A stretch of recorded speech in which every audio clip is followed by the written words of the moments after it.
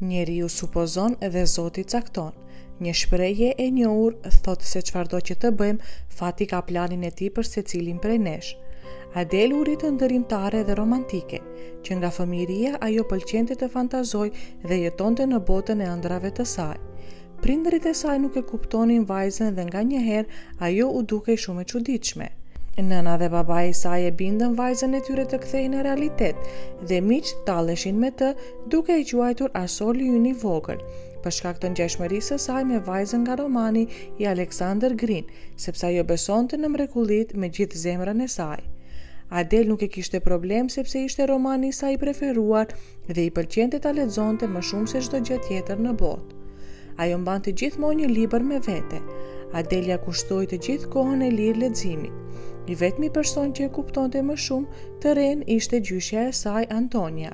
Ajo e donte shumë Adelën dhe çdo verë priste me padurim të shihte mbesën e saj për pushime.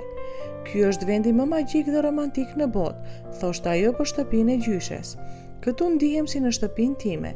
Ndjenjat e Adelës ishin mjaft të kuptueshme, sepse gjyshja e saj jetonte jo larg detit dhe për një ëndërrimtare të tillë si Adel, deti ishte gjëja më e mrekullueshme. Ajo kalonte gjithë kohën e saj në plazh, duke eksploruar të gjitha vendet lokale të bregdetit.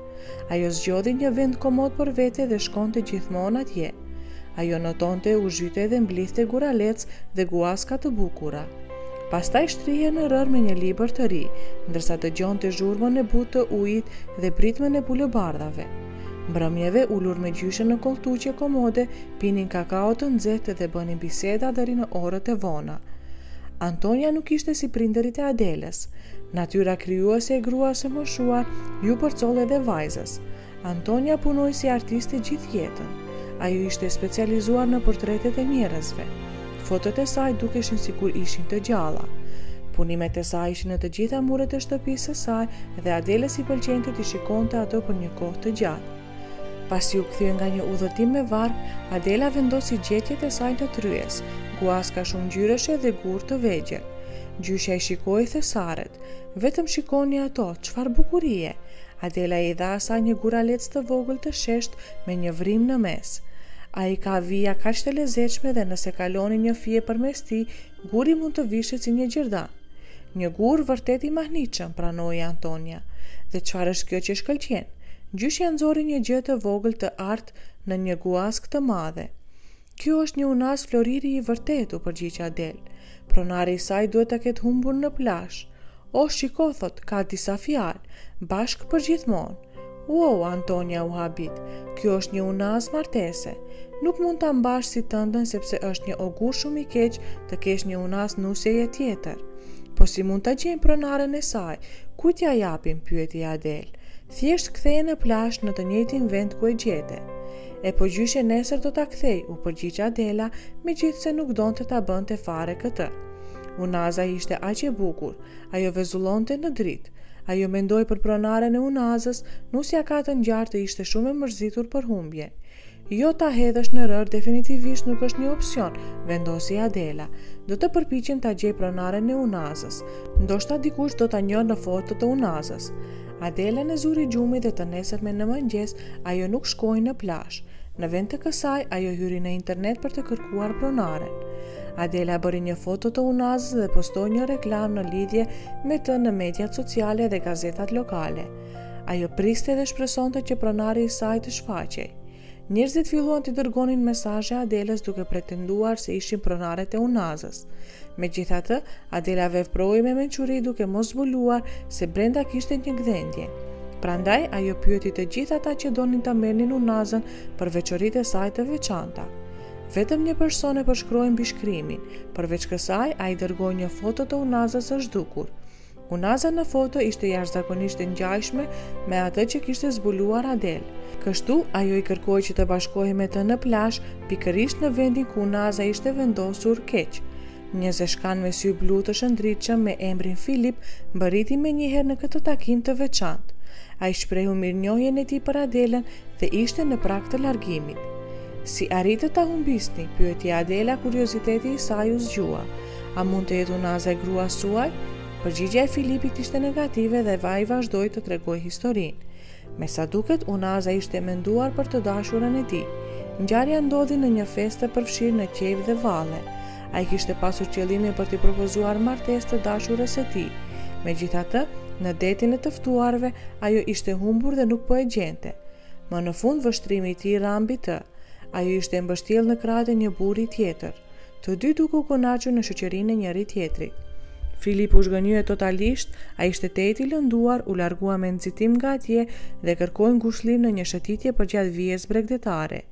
I nxitur nga emocionet e tij, ai hodhi në mënyrë impulsive unazën në rërë, duke përfunduar kështu rrëfimin e tij. Kjo është një histori mjaft e zymtë, tha Adela me empati. Ndoshta ne nuk duhet të ndalemi në të kaluarën, u përgjigj Filipi me optimizëm. Adela u interesua për vendbanimin e tij në zonë, por Filip nuk foli. Ajo e priti këtë me një buzëqeshje përpara se të ndante traditën e saj vjetore, verore për të vizituar gjyshen e saj në vend. Të angazhuar në bisedë, të dy shpejt e gjetën veten të zhytur në një sërë temash intriguese, të pavetëdijshëm për kalimin e kohës. Ndërsa ata i thanë lamtumirën njëri-tjetrit, Filipi bëri një ftesë për t'u takuar të nesërmen, një ofertë që Adela e pranoi me lehtësi. Gradualisht takimet e tyre ushqyen një miqësi të thellë. Adel zbuloi se ajo mund të bisedonte me Filipin pa pengesa, duke diskutuar çdo temë që i shkonte në mendje. Nga ana tjetër, Filipi e çmonte origjinalitetin dhe prirjen romantike të Adelës. Ai rrëfeu, unë kurrë nuk kam takuar dikë si ju. Kjo fjali i shkaktoi një lulëzim të ndjenjes brenda saj. Me kalimin e ditëve të verës, erdhi koha që Adela të kthehej në shtëpi. Pavarësisht afërsisë që kishin zhvilluar, Adela nuk tregoi dashurinë e saj për Filipin, e rënduar nga pasiguria nëse këto ndjenja ishin reciproke nga ai. Me kalimin e ditëve, ishte planifikuar një takim tjetër në mbrëmje. Duke iu afruar pikës së caktuar të takimit, Adela dalloi se Filipi ishte përfshirë në një bisedë me një individ të panjohur. Duke nxituar drejt tij, ajo ndaloi papritur pasi vuri re shkëlqimin e diçkaje në dorën e Filipit.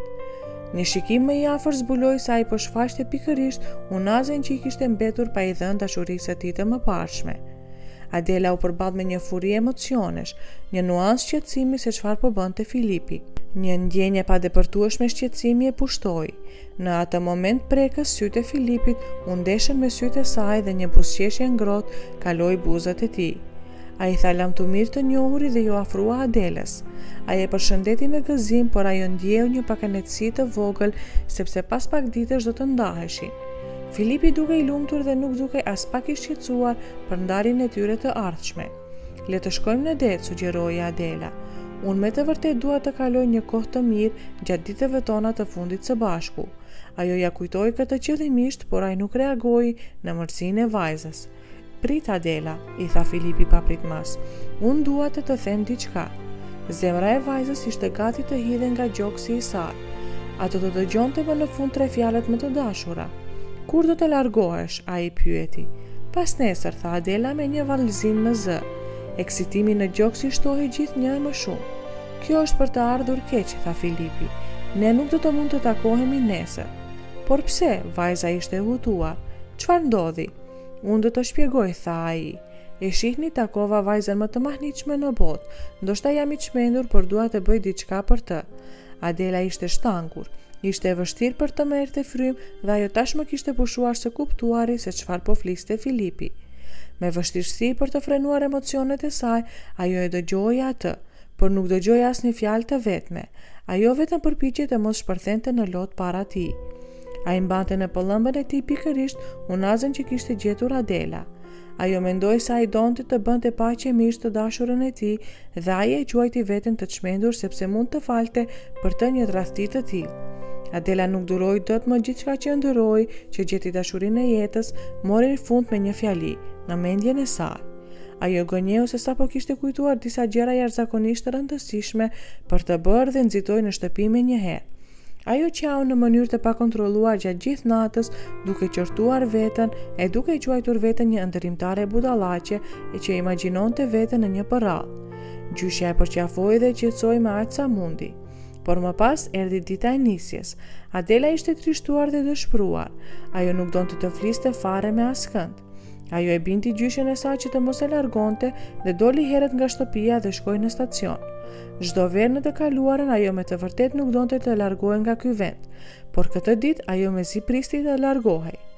Adela po i afrohej autobusit të saj kur papritmas dëgjoi dikë që e thëriste. Duke u kthyer ajo pa Filipin i cili po vraponte drejt saj sa më shpejt që mundej.